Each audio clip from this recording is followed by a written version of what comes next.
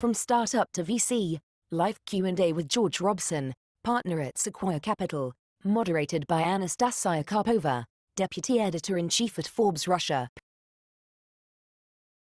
My name is Anastasia Karpova. I'm deputy editor-in-chief and head of Forbes Under 30 at Forbes Russia. And I'm excited to welcome you here on Q&A session with George Robson, partner at Sequoia Capital, one of the most powerful VC firms in the world. I think every single founder in the world dreams of getting investment from Sequoia. Hi, George. Thank you for being here. Pleasure to be here. You're too kind.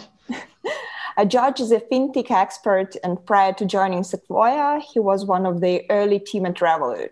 We're going to have 30 minutes and we're going to talk about startups, pitches, and fundraising. So, George, you've just finished listening to the pitches in Venture Lounge. And I'm sure you have hundreds of pitches every single day. Mm-hmm. From your experience, what are the key mistakes founders make in their pitches usually? I think um, it's important to remember that when we have time together, right, part of it is obviously to get to know you as a founding team and to understand in particular where does that unique insight come from in terms of why you as a talented individual, a talented group, um, are spending your time and energy solving this problem, right, over millions of other things you could be doing. So actually, I think it's critical to really focus and allocate time on the problem statement and think pretty deeply about the way the world works today where your unique insight comes from, from experience, from things you've read, you may have studied, brought together as a group, and just articulate this view of the world that you want to create through your product and through your business, and just being very thoughtful about that. Thank you. Uh, and what do you like about the pitches you've listened today? Yeah, I think one thing we talk a lot about inside of Sequoia when when we listen to companies is what is the scale of your ambition right? I think it's very important that you're clear in terms of not just the market you're going after and the services you're trying to provide today, but actually in its entirety, if this goes right, if you execute on plan, if you scale effectively, what are you going to do to change how consumers and businesses live their lives? And what we saw today actually was that attempt to do it not just across different geographies, but actually across sectors in some of the world's biggest problems of like financial services and logistics and thinking about building a super app for for groceries and things like that. And that stays in your imagination because they're huge problems to solve. Uh, and how do you select the startups in Sequoia? I'm sure you have like hundreds of startups every single day, and so many founders want to to get the, the investment from you. So we, I mean, we're fortunate um, because we have you know a range of different funds. We partner with companies from the earliest stages, from the seed stage, right through to you know pre-IPO and beyond, actually, and across geographies as well. You're right. We see a pretty broad mix of businesses that that we work with and partner with. I think in reality, what we really care about is the uniqueness of the insight, as I said, in terms of how does the world work today? How do you and the team plan to change that? And really getting an understanding of like, I think great founding teams have four things broadly, right? They have domain expertise and understanding around a particular area or a particular market. They have functional expertise in the group that they've built and they've brought on board, whether it's in product or go to market or operations, whatever it is that your core business actually needs to win. They have determination, right? They have evidence over their lives, not just their professional careers, but their education, their childhoods, um, some evidence that they've been able to persevere, right, and to succeed over time and then they have luck, right? And part of that is obviously being somewhere in the right point in time and having this why now for why should you be founding this business today? Why could somebody not have done this two years ago? Thank you. Uh, and you also have entrepreneurial experience. So, how do you use your personal entrepreneurial experience and, and your fintech experience in your VC career? Yeah, um, it, it, it definitely helps. I think the, there are a couple of ways that it helps for sure. One is actually just around empathy. I think understanding that when you push out to found a company and you take a risk, right? Your parents ask you what are you're doing, your friends say, What are you building? They've never heard of your business. It would be easier for you go and collect a salary at a bigger company where you have benefits and you have comfort. Obviously, you push out a little bit onto the unknown to try and create something from nothing. That is the heroic piece, right, of the entrepreneurial journey. I think the reality of that is just having deep empathy with that problem and understanding that people are working hard to try and build a better world um, is actually the privilege of, of, of, my new role, but actually of kind of entrepreneurship more generally. But I think secondly to that, like we have a, a working model at Sequoia where actually we work together as a team with our companies. You have somebody you work with the most day to day, but you probably work with you know three or four of our partners on a pretty frequent basis. And the reason we do that is increasingly different models are kind of seeping from a sector into another sector. When you think about like the emergence of SaaS in enterprise, right, coming from consumer where subscriptions have existed for a long time, just sharing those learnings across different people who've worked in different sectors is important. And in a world where fintech is increasingly embedded in, to be honest, most industries, right, payments is an important part of most businesses. Um, I find myself working with much more than just financial services companies about how to build that future. Thank you. And why why is it fintech? Uh, I had an interview with Olga Shekantsova. Mm. Uh, she joined you in the previous session. Yeah, she's great. Uh, she, yeah, she was telling me about how fintech appeared in her life and how it was for you. Yeah, I mean, I I was um, in London um, working Canary Wharf, and I just saw friends of mine, you know, using this new app called Revolut, and the initial tagline was this idea of spend abroad without fees right? It was challenging you if you were somebody who lived a multi currency lifestyle for whatever reason, right? Friends, family, work, to use this product as a way to allow you to reduce inefficiency, save money, and live a more efficient financial life. But I think the interesting thing for me, kind of going to Revolut and seeing what we built as, as a platform and the product evolved, is actually we had lots of users that were financially aspirational, right? People who wanted to learn more about how to consume more financial services products, but not necessarily yet financially sophisticated. And I think what we're really seeing at the moment is consumers and more recently, actually, businesses and particularly SMBs going through this kind of awakening where actually there's a level of awareness now of what you can do with software and with financial services software specifically, just to make your lives or your business much more efficient and give you back control, right, over the way you manage your money. And that is now spread across you know all verticals and all in all geographies. And it's now this global phenomenon of really you know the last five years and for sure the next 15 to 20 years. Uh, thank you. And let's get back to um, to fundraising so what advice should first time founders heed yeah what i think i think i think that's an awesome question i think to remember like my view of of companies broadly is that it's like millions of decisions that you make in a certain order that lead to a certain outcome, right? That's really what over time defines your business. And the reality is that most of those decisions that you will make aren't unique just to you, right? Unless you're, you know, necessarily Elon Musk, right, going to Mars. The reality is that most companies have made the tough decision of should we launch in market A or market B? When should we hire our first product marketing manager? How should we think about pricing? should we rebrand now or in six months, et cetera, et cetera, et cetera. They might not have made that decision in your sector, in your geography, right? But people exist in the world that can give you advice and guidance and help you get your business to that next phase. So in my experience, you know, the only difference between first-time founders and more recent founders is obviously experience, right? And a lot of that experience exists. You just need to ask for it. And you should do that not just with your investors, whoever they are, right? You should expect them to really support you and help you, you know, work out some of these questions. But the reality is that working at Sequoia, like, we don't really tell people what to do, right? Because we often don't know the answer. But what we do do and where we can help is we can show people what we think good may look like, right? Or at least we can direct somebody to a great person in our portfolio who's doing what you're doing at a slightly bigger scale and slightly further on to help you try and manage that and resolve it. So just ask, have a low ego and just ask for advice. Uh, in your opinion, what makes a good founding team? I think deep intellectual honesty. Like, I think the reality is when you're running an early stage business, clearly not everything is perfect, right? You're at a point in the journey in building whatever vision it is you have, right, for your product. Things won't always work. Things of it will work today. That's how you're getting the early traction while your early customers are there. But a lot of it is about having a very realistic view of the world in terms of what you are doing well, where you need to improve, where you need support and help, and a you know better person maybe in that role or a bigger team or whatever it might be as a founding team, making those tough decisions. And you can't get there if you don't have this intellectual honesty. It makes it very difficult.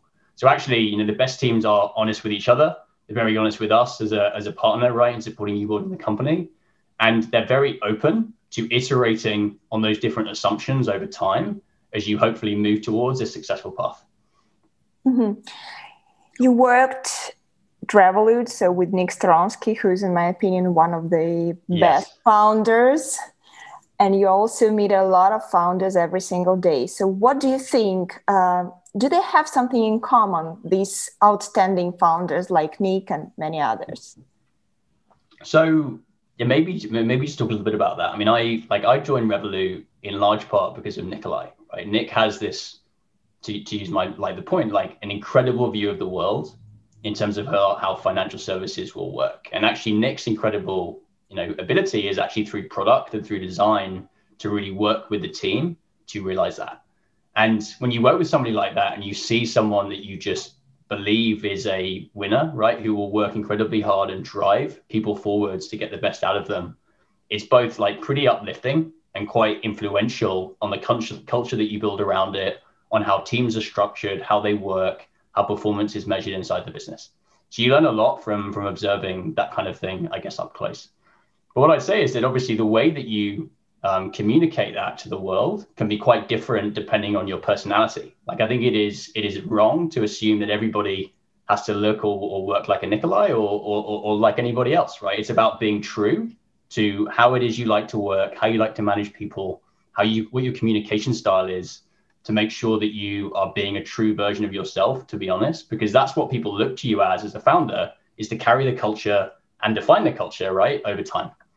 So I think that like what I would say for founders, there is a there is a level of obviously intimacy and understanding about the problem, which really should best come from the founder, a very deep knowledge of that and the of that knowledge space. But I would say as much as anything else, just humility and a willingness to improve and to understand that like when you look at these amazing CEOs and you listen to podcasts and you read books, this is you catching people at a point in the journey, right? And everybody has gone through probably multiple evolutions, right? As the business has evolved and as they made this transition from being a founder to a CEO, right? Which is a very different role.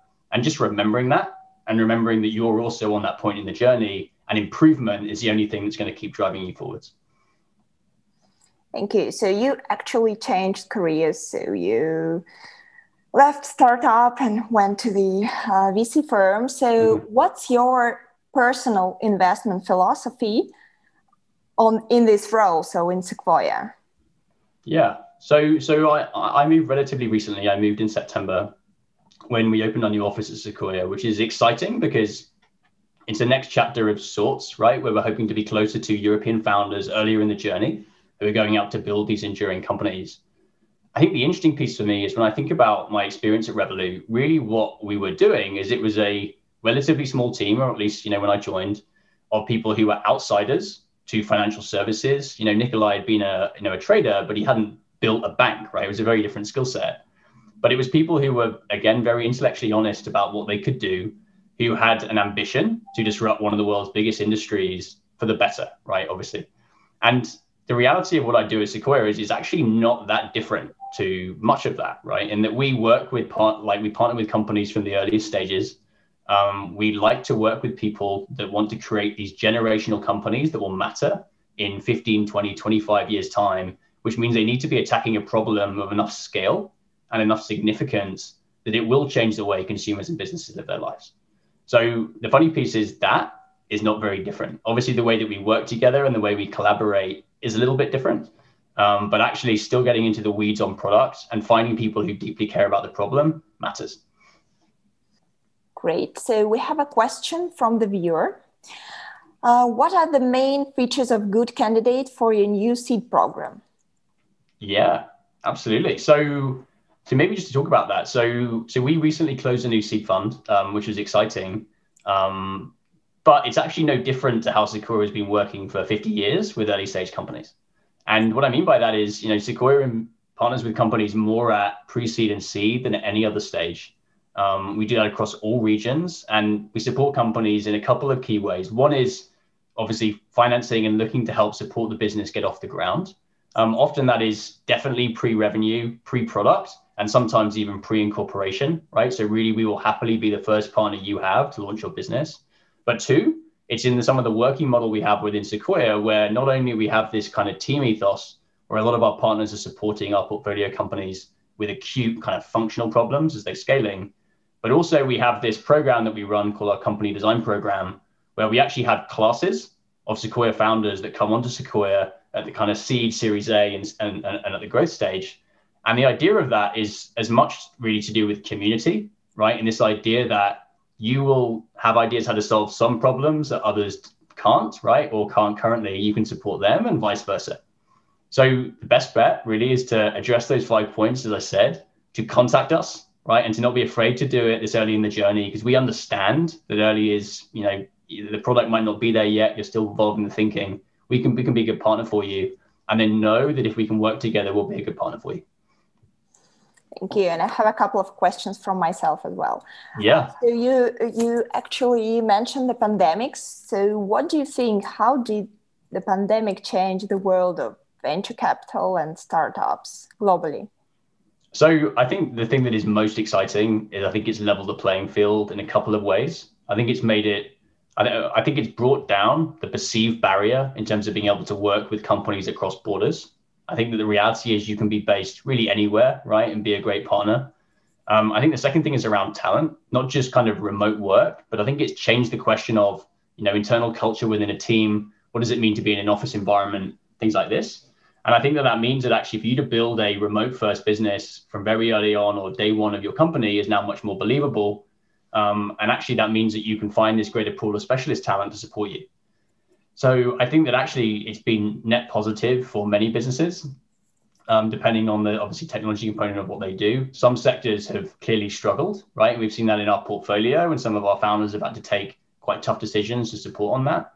Um, but hopefully, right, as the world starts to emerge, we will be in a stronger position where you know normal life will look normal, but also some of these advantages of being able to found a company from anywhere, hire from anywhere will remain. Did you change your investment strategy during the pandemic? Um, so not so much, actually. Um, I mean, the like the mission statement for for Sequoia is that we really want to partner with founders that we think are building enduring businesses, and our timeline for what it will take to build an enduring company is measured in really decades, right? It will often take 10, 15, even 20 years for some of these companies to emerge. So the reality is it's something like a pandemic that we you know hoped would be over in a in a shorter time frame than that, and cautiously it looks like it might be.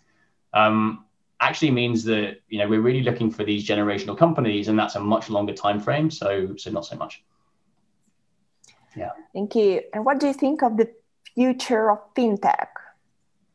Yeah, I think I think there's a few things that are really exciting me at the moment. I think that um, this evolution towards embedded finance, which has been discussed for a couple of years, but I think is really starting to gain traction. Specifically, the idea that you know non-fintech companies, i.e., in retail or healthcare or even mobility and other things like this, will really start to think about more than just processing payments, which is really kind of a level one service, but actually starting to think a little bit more constructively about holding balances, providing other layers of financial services products on top of that to a world where consumers will, you know, consume finance at the edge, where they shop, where they live their lives, not necessarily where their money is stored, i.e., within their bank. So I'm very excited about that. I'm very, very excited about some of the applications within DeFi to just remove frictions of managing money across borders, having access to financial services products not available in your geography, just because of this very global aspect to a lot of these protocols. Um, so I think that we are getting a more global world with a better range of services consumed in more places, and that gives me great excitement. Thank you. And I, ha- I think I have my last question. Could you please share some pitching life hacks for for startups? So uh, less is more, I think. Um, really think carefully about the questions you're being asked, and you know, working with the person you're speaking to, that you're pitching to, to make sure that you can get through the key topics. I think demos help. If you're at a point where you can really start to frame right what you're building with something of a live demo even if it's a prototype right or it might be a recording of a demo you took earlier it just really helps to anchor the user experience you're trying to create. Because otherwise it's it's, it's words and it's numbers and it's graphs but it doesn't feel as, as real and as tangible. And then what i would say is and, and this is maybe obvious but like is appreciated always if you say you're going to do something and if people do it, right? Like I think you can really communicate a lot about how you work and how organized you are. You know, follow up, be the meetings, have the stuff, send the materials early. Just communicate how you're this person who's really on top of, right, the running of your business. All these little things. Thank you so much, George, for this amazing discussion. It's been a pleasure. Thank you for having me. It was useful. Thank you. Thank you so much.